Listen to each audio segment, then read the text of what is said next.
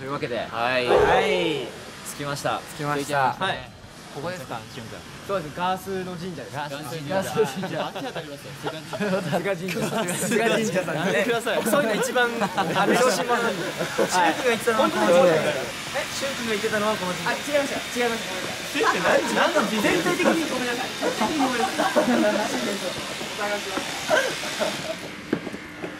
このダウンのさね踏みしめてよいいですねそうですね踏みしめてねこういうって書いてこういう東京っぽくないのがいい確かにすっげえ穏やか、これ階段の数だけいいことがあるそうよいいこと言うね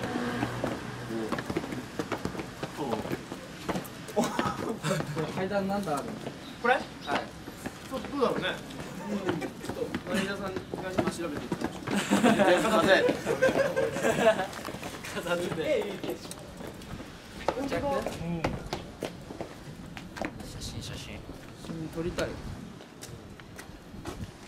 ういうのもね人もちょっと。全然いないし。東京もねあるんだよ。こういう風景が。そうそう。うん。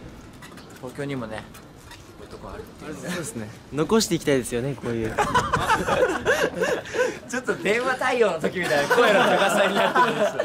残していきたいですよね。いや着いたおおすごいね綺麗だよ菅公園あここ公園ってなってんのあ本当だ。菅公園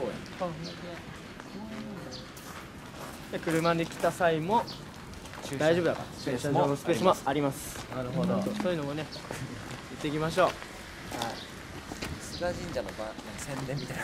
えそうそうそう。ですタイアップです。タイアップですからね今回の。お世話になってる。そうです。ちゃんと提灯も。金田神殿あれ金河って読むんですか？絶対言うと思う。僕新年毎回読めるんですけど最初のやつが何て書いてあるか分かんなかったんです三井 か干渉絶対言うと思ったけどずーっと分かんなかっまあなんとなく。金金です金。たやった。覚えた。ちゃんとあそこにサンミュージックありますしね。あそこ？あります。本当だ。へえ。すごいね。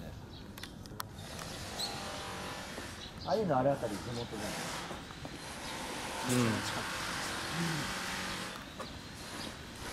入りますねこっちの階段もいいな。ゃんあ今度。もよかった。